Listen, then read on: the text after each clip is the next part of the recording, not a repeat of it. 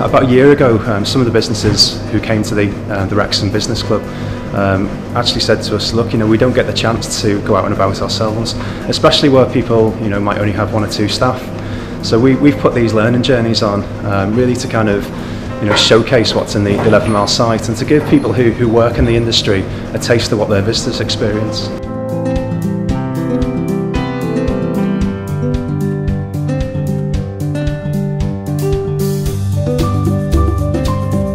I'm Julie uh, Johnson from uh, Johnson's Cane Furniture and Basket Centre.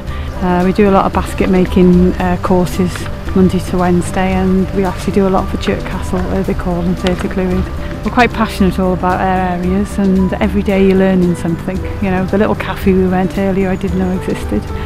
You know, um, all the tourism, you know, they need all the people to visit as much as they can.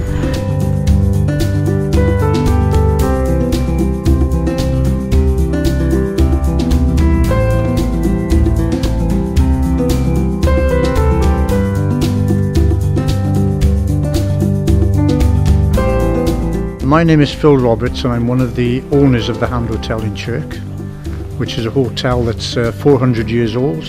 Even though I know the locality, I'm aware that North East Wales has got such a rich reservoir of historical buildings, you know, and they all link together in a way. And one of the key things with tourism, if we can get people who visit the area, if they stay for an afternoon, if we can make that a day, or even two days by visiting other parts of the area, then everybody benefits.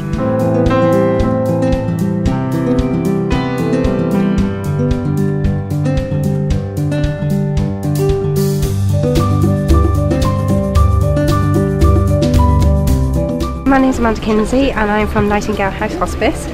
Um, I've come today in order to explore the local area um, to see if there's any opportunities for the hospice uh, to get involved in the local development and also the learning journey that we've been on today.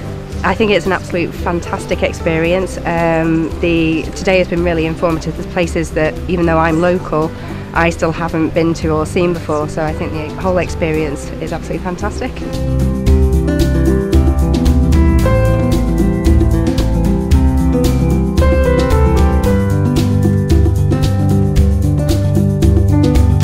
My name's Christopher Frost. I'm one of the owners of Manorhaus here in Llangollen. We're a five-star rated restaurant with rooms and we've been opened here in Llangollen for 18 months.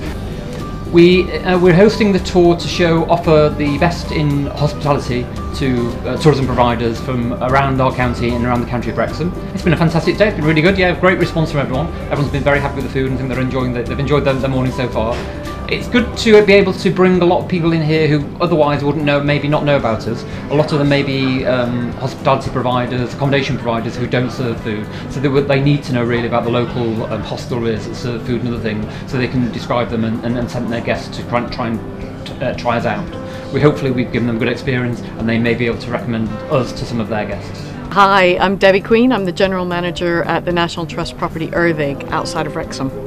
Uh, it's a bit of a networking opportunity, but it's also really good practice to go around and see what other businesses are doing and look at their visitor experience and uh, just meet with colleagues, really. Lunch was fantastic, dessert was amazing. This place is beautiful, Valle Crucis Abbey. So it's all been really good, really well organised. Hi, my name's Mike Smart. Uh, my business is Trek Smart. I'm a uh, walks leader so I bring people to the area like this and take them out to experience the countryside. Today's very good. I've been on two of these learning journeys and they're excellent for meeting people and exchanging ideas actually. I get ideas from them, I give them ideas hopefully and uh, it's a really good way of networking I think, yeah. You never know who you're going to meet and uh, you know I've made some good contacts today and hopefully that'll bear fruit in, in the near future. I think I've uh, I've made some some really good business contacts. I've also seen some places that I want to bring family and friends back to, and I've seen some places that I want my staff to actually recommend that our visitors go and visit. I would recommend going on one of these learning journeys to anybody that has a chance. What's been really nice today is we've had a range of people, so we've had hotels, bed and breakfasts, people from um, attractions, um, and it's just been great to kind of get everyone kind of working together and, and networking, so it's been really special.